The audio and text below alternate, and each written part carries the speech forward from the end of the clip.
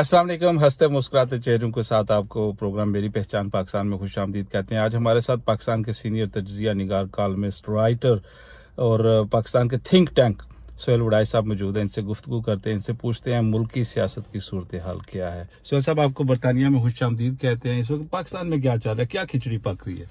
पाकिस्तान में कन्फ्यूज़न है, पाकिस्तान में क्राइसिस है पॉलिटिकल टर्माइल है अभी फैसला नहीं हो पा रहा। एक मुआशी बहरान था, उससे हम आहिस्ता आहिस्ता निकल रहे हैं।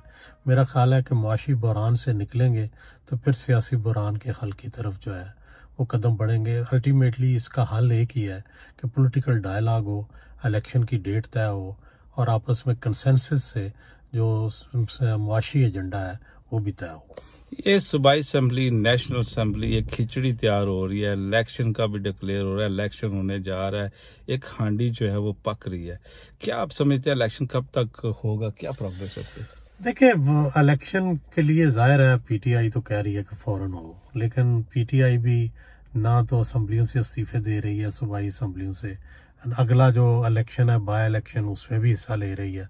तो इसका मतलब है, उसको भी बहुत जल्दी नहीं है इसका मतलब ये है कि वो भी, ये नहीं चाहते कि अक्टूबर, नवंबर में इलेक्शन हो। तो इसका मतलब है, अगले साल इलेक्शन होंगे।